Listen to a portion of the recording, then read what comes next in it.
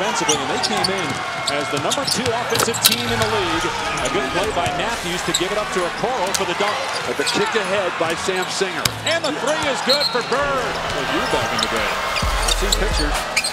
Here's Wallace for three. It's good for Tyrone Wallace. No.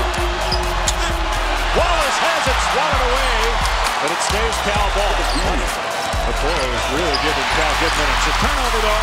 Two Arizona. And Greer slips. Anderson cleans it up, puts it in, and a foul. Ryan Anderson, persistence, discipline, perseverance.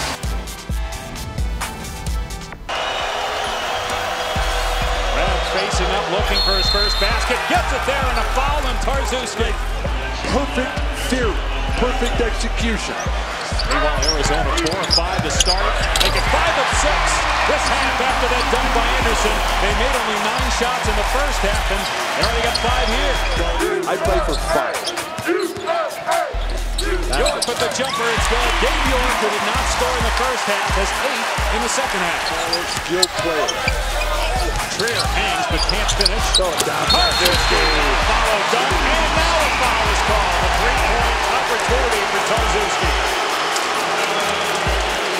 What about Utah? Jakob Poeltl, Tarczewski likes to throw it down big man one time. By himself in an NBA. Jay Ivan, another putback for Rabb, and he's in double-figure rebounds now. His outside shot, it has gotten better in pack-flow play. As Wallace drives, oh, again with the putback, and Cal has the lead back. Ivan Rabb taking over on the boards. Get Bird off the mark, but Rabb is there for his 12th rebound, and now